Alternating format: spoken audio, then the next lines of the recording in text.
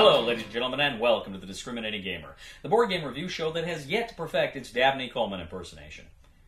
I'm, I'm Dabney Coleman. I, I can't do it. I can't do it. Ladies and gentlemen, today we're going to go ahead and take a look at Axis and Allies and Zombies from Avalon Hill and Wizards of the Coast. My zombie girl claws her way up through the soil. She wants me bad, but I know that she'll stay loyal. She wants a kiss, leans in like this, then bites off my lower lip. She's in my heart, but wants in my head. I'm in love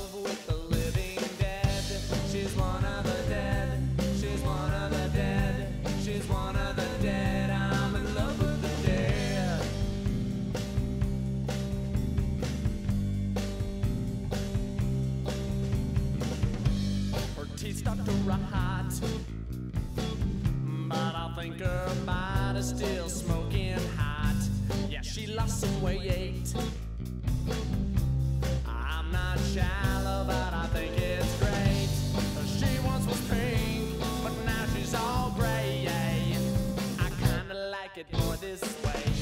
Axis and Allies and Zombies from Avalon Hill and Wizards of the Coast is a game in which the players, two to five players, take on the role of the various belligerents in World War II. This, of course, is the latest spin on the Axis and Allies genre, and it's the first one that kind of takes on a fantastical element. I am, of course, talking about Soviet infantry.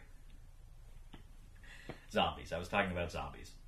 The game board is a map of the world during World War II, and it looks just like a lot of your other Axis and Allies game boards. You will notice, however, some of the neutrals do have IPC values, and that will be important coming up. Now, the theme of the game is during World War II, there is a zombie outbreak, a zombie apocalypse. So players have to battle each other even as they are battling this undead massive horde that is infesting the world. Now, this leads to some new core mechanical changes of the game, but the game surprisingly plays similar in many fundamental ways to its predecessors. Now, every round, players are going to go in a specific order. It's the Soviet Union, Germany, the United Kingdom, Japan, and then the United States. And then, of course, you cycle back through these things. But how turns play out is a little different. At the beginning of every player's turn, you're going to draw a card. And these cards have kind of two sections a top section and a bottom section. The top section tells you where a zombie outbreak is going to occur. That simply means you place a zombie unit on uh, whichever part of the board it tells you to place that unit. Doesn't matter if there's already troops there, doesn't matter yet. You just go ahead and you place the uh, zombie uh, unit right there. Now, the bottom of the card may also give you some advantages. It may allow you to develop zo- anti-zombie technology. It may give you certain other uh, things that'll pop up throughout the game.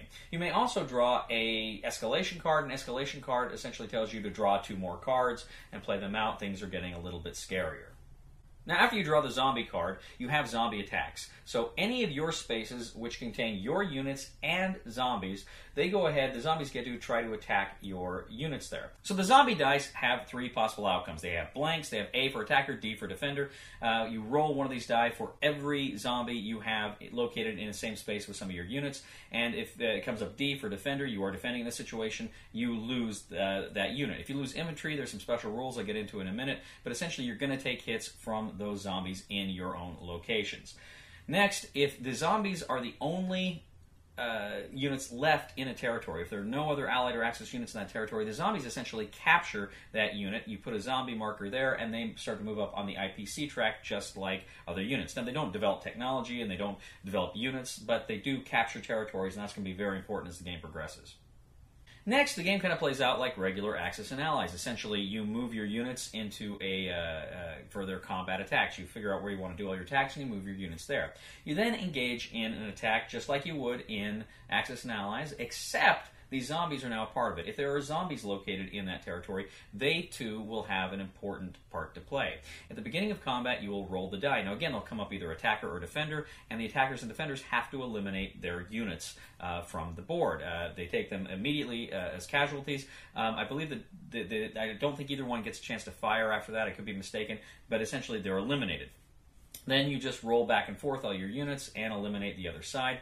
If you roll, of course, you know the, the, the, number of your unit and below, they hit on the enemy. But if you roll a six, which is actually the, the sixes have a zombie head splattering, you actually kill one of the zombie units. So sixes are actually really good to roll here too.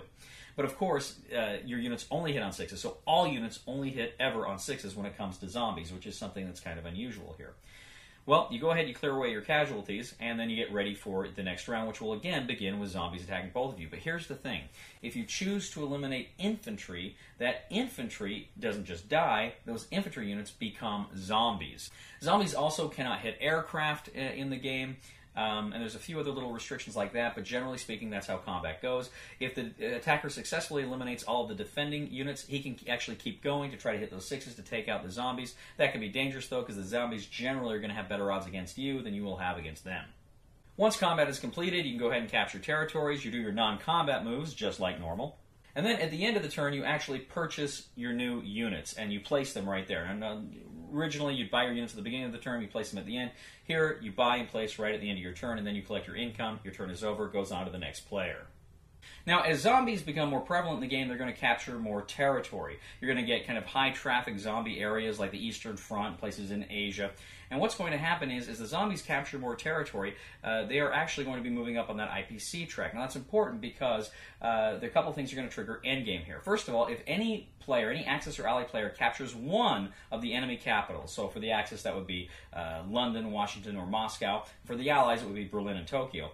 If you can capture one of those capitals while still holding all of your own, you instantly win the game. However, if the zombies ever get to 25 IPCs, that triggers the full zombie apocalypse. The zombies essentially can destroy everything, and then you add up the IPC values of all, each side of, of their um, collective IPC income. Whoever has the most IPC income wins. Axis and allies and zombies. So this is kind of a fun new spin on Axis and Allies. I was um, you know, I kind of didn't know what to make of this when it came out. I thought it looked fun and goofy, and generally, I, I, I like stuff like that. I like it when when games can get a little out there, a little weird, uh, and and have fun with history too. And I, I thought this game did it very well. Now, as you know, uh, I've said this many times on on, on the show. Um, I'm working on my PhD in history right now and uh, World War II history, and that it was Axis and Allies playing that as you know 12 year old that kind of sparked my love for World War II history and really got me wondering about it, and that kind of set me on this path uh, that I'm on right now. So I, and Allies has a special place in my heart. And it was fun to see this kind of approached in a new way, in kind of this fantastical way. And it's interesting too because it kind of almost makes you wonder, well, what else could they do with it? Could they do something similar with like Cthulhu or Aliens or something like that? And uh, like Harry Dur- Turtledove's World War series, which is a great series of books about aliens invading the middle of World War II. It's a lot of fun. But I like alternate history themes like this and, and fantastical themes like this. So that's that's really a lot of fun and be be interesting to see if they take this in some more directions. Who knows? But but in any event, this was fun. This was so much fun. It was the familiar Axis and Allies, but this added just some new sugar and spice. This kind of injected a new life into it, and it gives and it gives you critically to some new choices here, which are very interesting. For instance, um, you've got the um, you've got those battles, and typically in traditional Axis and Allies, your your infantry is there for fodder. You bring in infantry to protect your tanks, to protect your planes. That's why that's what infantry does in the game, but it, it can't do that here because they will come back as zombies, and so you can kind of sacrifice one problem just to make another problem, a potentially bigger problem, and maybe you do lose that tank, maybe you do lose that plane because you don't want additional zombies there. And that is a very interesting decision you've got to make in every combat. What do I lose? And so I really, really, I, I really enjoyed that quite a bit. I thought that was just tremendously fun. I like the idea that they they, they would pop up everywhere. Um, uh, also, too, uh, you know, the, those neutrals that have IPCs on them, they're neutral. You can't enter them until zombies appear there. Then suddenly they're in play, and you can move in and take out some of those neutrals, like you know, like Spain and Turkey and Saudi Arabia and stuff like that. So that's very cool as well that you can bring those those regions into the game uh, there as well. Um, it's it's regular Axis and Allies, but there's this bite to it, and I and I really really really had fun with it. Um, the, the zombie technology is fun. You know, you've got things like zombie mind control, where if there's a zombie in your territory, you can move one from your territory to another territory and make it somebody else's problem.